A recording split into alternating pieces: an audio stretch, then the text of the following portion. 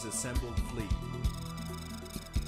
Because our carrier mobile fleet succeeded in breaking through the channel safely, our enemy has assembled their sea forces, and it appears to have put a stop to our invasion with all their forces. We will not be able to avoid them since they are on our operation route.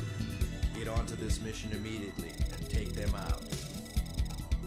Target enemy's mobile fleet. We expect a powerful attack from the combined power of the enemy's sea and air forces. Be on your guard.